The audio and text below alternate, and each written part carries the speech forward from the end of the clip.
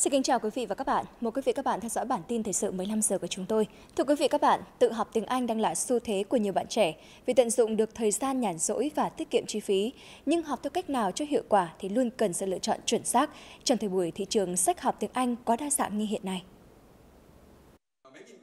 Hiểu được băn khoăn này của các bạn trẻ, nhà nghiên cứu thầy giáo Nguyễn Anh Đức, người được mệnh danh là phù thủy tiếng Anh, nhờ những sáng tạo về phương pháp giảng dạy và công cụ học tiếng Anh trên nền tảng công nghệ cao, kết hợp với công ty cổ phần sách MC Books, công bố bộ sách Brain Booster, học tiếng Anh bằng công nghệ sóng não. Đây là công nghệ đã được nghiên cứu và phát triển bởi tiến sĩ Paul Pinsler, người có ảnh hưởng bậc nhất thế giới về những phương pháp học ngoại ngữ.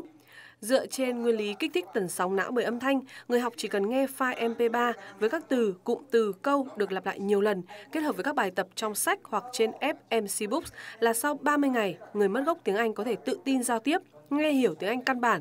Còn quyển thứ hai trong bộ sách dành nâng cao tiếng Anh công sở, giúp người học hình thành phản xạ tự nhiên với tiếng Anh. Trước đó, cách thức học tiếng Anh nhờ công nghệ sóng não đã thu được hiệu quả thực tế tại Việt Nam qua áp dụng thử nghiệm trên hàng trăm người chưa hề học tiếng Anh.